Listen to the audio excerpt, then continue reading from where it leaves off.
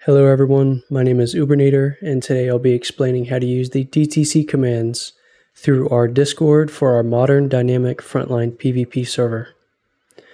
I'll start by explaining what DCS DTC is, and essentially it is a mod for DCS that acts like a data cartridge for the F-16, FA-18, and F-15E Strike Eagle.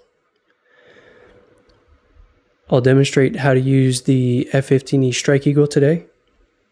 So to start out, you'll select the F-15E Strike Eagle, create or select your profile, and then you can set up your MPDs, your bingo, your low altitude warning, and your waypoints.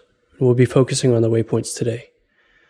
Generally, the way this has been done is you would load in go to the F10 map and start a capture. Here you can save your waypoints like this. We've decided to automate this through our Discord.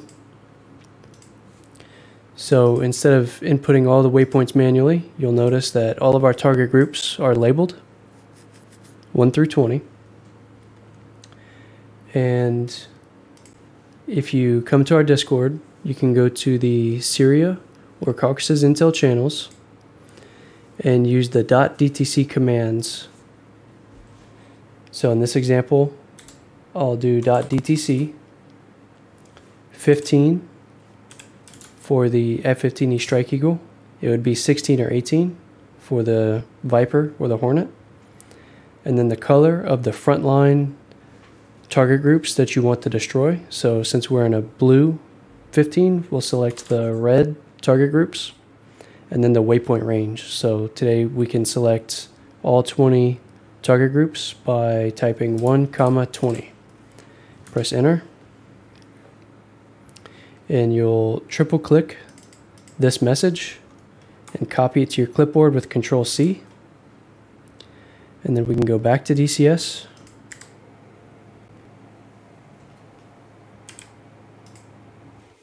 and then open up DTC for DCS. We'll delete these two waypoints. Load from clipboard, load waypoints, and apply. Now when we go back to the waypoints page, you'll notice all 20 target groups and all the coordinates are inputted automatically.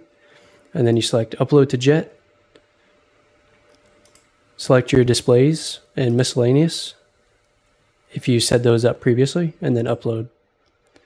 And now you can watch as DTC for DCS uploads all of your waypoints automatically.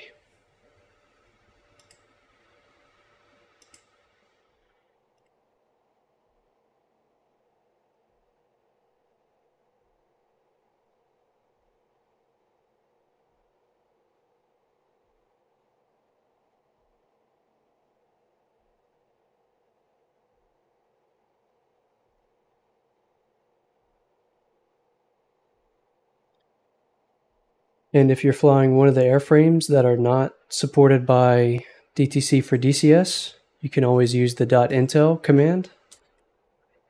You don't have to specify an airframe, but you do have to specify the color of the target groups that you want and then the waypoint range. So we'll just do 1 comma 20.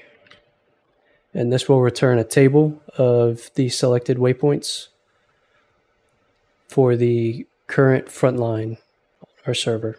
And you can do this in either the Syria or the Caucasus Intel channel.